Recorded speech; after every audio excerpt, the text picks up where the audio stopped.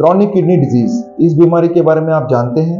अगर नहीं जानते तो इस वीडियो में हम डिस्कस करेंगे क्रॉनिक किडनी डिज़ीज़ के लक्षण और उनका फर्दर मैनेजमेंट गुड मॉर्निंग नमस्कार। मैं डॉक्टर राकेश भट्ट, अमनदीप हॉस्पिटल, पठानकोट में कंसल्टेंट नेफ्रोलॉजिस्ट हूँ और आज जिस टॉपिक पे हम डिस्कस करने वाले हैं, उसका नाम क्रॉनिक किडनी डिज़ीज़ उसके सिम्टम्स एंड उसका मैनेजमेंट यानी कि उसका जो ट्रीटमेंट और उसका जो निवारण है, वो भी डिस्कस हो क्रॉनिक किडनी डिज़ीज़ बीमारी है किडनी की क्रॉनिक बीमारी है, जो कि 45 टू 50 ईयर ओल्ड में स्टार्ट होती है यूजुअली जो प्रमुख कारण है, वो है शुगर वो है ब्लड प्रेशर और मेटाबॉलिक डिज़ीज़ ये यूजुअली देखा गया है जिन पेशेंट्स में long standing uncontrolled diabetes uncontrolled hypertension है, या लाइफस्टाइल डिसऑर्डर्स लाइक ओबेसिटी है, उनमें फोर्थ या फिफ्थ डिकेड में शुरू होती है एंड प्रोग्रेसिवली स्टेज वन से लेकर स्टेज फाइव तक बढ़ जाती है। इसके प्रमुख लक्षण जो हैं, वो टिपिकली आँखों में सूजन आना, पैरों में सूजन आना, रात को बार बार पेशाब आना, हाथों और पैरों में थकावट, कमज़ोरी का महसूस होना धीरे धीरे पेशाब का घटना धीरे धीरे रात को सांस फूलना,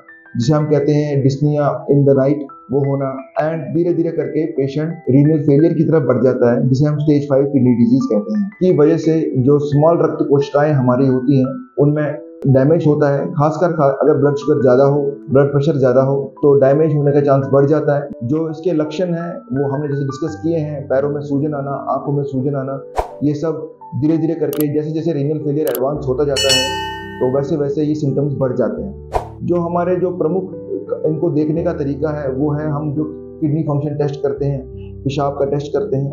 पेशाब के टेस्ट में प्रोटीन का आना, किडनी के टेस्ट में यूरिया और क्रिएटनिन का बढ़ना।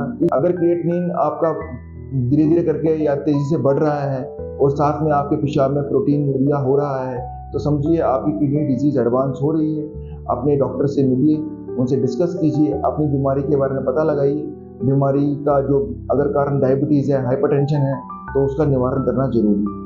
कुछ क्रॉनिक किडनी डिज़ीज़ का कारण कुछ अदर डिसऑर्डर्स भी होते हैं। जैसे कि स्टोन्स क्रॉनिक स्टोन्स पड़े रहना बॉडी में कोई मेटाबॉलिक डिसऑर्डर जैसे ऑक्सिल यूरिया होना या कुछ ऐसा मेटाबॉलिक डिसऑर्डर्स हो पॉलिसिस्टिक किडनी डिज़ीज़ ये अक्सर चौथे या पाँचवें डिकेड में होती है धीरे धीरे करके बढ़ती है, अनुवंशिकी कारण होता है इसका एंड इट में अफेक्ट अक्रॉस द फैमिलीज़ इसमें रीनल फेलियर धीरे धीरे करके एडवांस होता है। जितना जितना किडनी का साइज़ बढ़ता है क्रिएटिनिन उतना उतना बढ़ता है। एंड सिस्ट के बढ़ने की वजह से किडनी डैमेज हो जाता है। ऐसे पेशेंट्स को अपना जेनेटिक एनालिसिस और अपने जो डॉक्टर से कंसल्ट करके अपना ट्रीटमेंट कराना चाहिए।